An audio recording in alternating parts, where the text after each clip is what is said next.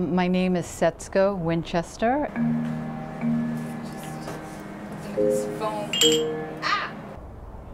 Someone said to me recently that if you don't know your history, you cannot know yourself.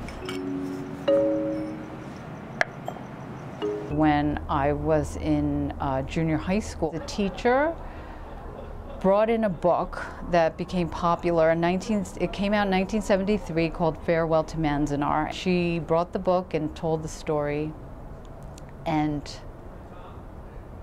and two boys in my class um, they said that's not true that wouldn't happen in America that's something that happens in Nazi Germany A thousand. That's not much. Yeah. yeah. One is a thousand. And they said that, well, if it's true, then she ought to know, pointing at me. And I didn't know. Yeah. That's. Can you see that? Yeah. At that point, you think that I would try to find out about it, but I, I think I did, but it just, it was, there, there weren't many books. No, I would ask Japanese people.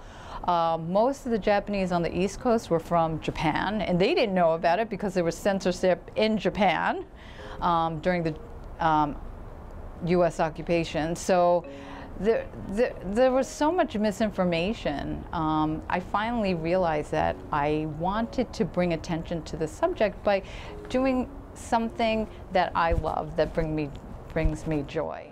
Each bowl represents a thousand uh, individuals who are incarcerated. I guess ceramics is something that's part of your blood when you're Japanese. It's uh, it uh, there's a pot for every occasion in your life, every kind of food. I made 120 tea bowls. I glazed them, you know, brilliant various shades of yellow um, to represent the yellow peril. My aim is to visit all 10 internment camps.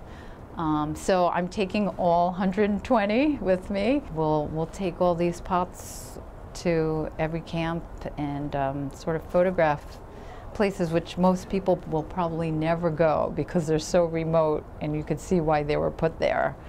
Um, and when you get there, there's almost nothing there. It's, it's almost as if it's been erased from history. And most of the people who live around there don't even know. They're like, what? This happened here? I, I didn't know. This is what Americans were afraid of. I want to say that we were about as scary as a bunch of tea bowls.